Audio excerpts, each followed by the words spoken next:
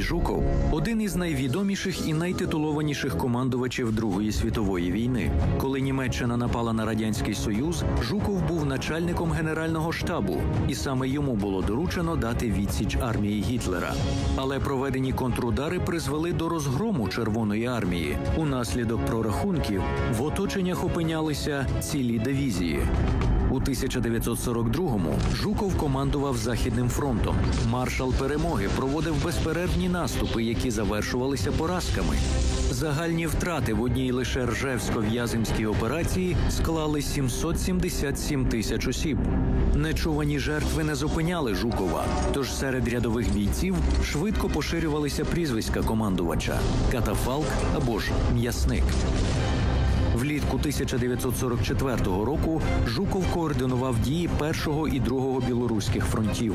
Більшість лаврів за успішну операцію Багратіон, завдяки якій від нацистів звільнили Білорусь, Жуков присвоїв собі, відсунувши в тінь інших полководців, зокрема командувача першого білоруського фронту маршала Костянтина Рокосовського.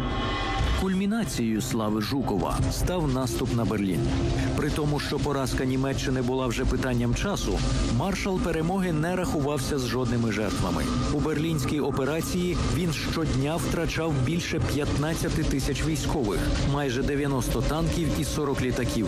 Усе для того, щоб зайти в Берлін раніше за союзників. Тільки за офіційними явно заниженими даними у берлінській операції Червона армія втратила вбитими і полоненими 352 тисячі людей. Після закінчення Другої світової війни Жуков був комендантом радянської окупаційної зони в Німеччині. Вже за рік через воєнні злочини і мародерства його зняли з цієї посади. Також замовчується, що після Другої світової Жуков був причетний до низки інших злочинів. У 1954 році він керував 45-тисячними військовими навчаннями на Тоцькому полігоні для вивчення можливостей армії в ядерній війні. Там таємно застосували атомну бомбу. Через повну секретність ніхто досі не знає, скільки військових загинули чи постраждали внаслідок того випробування.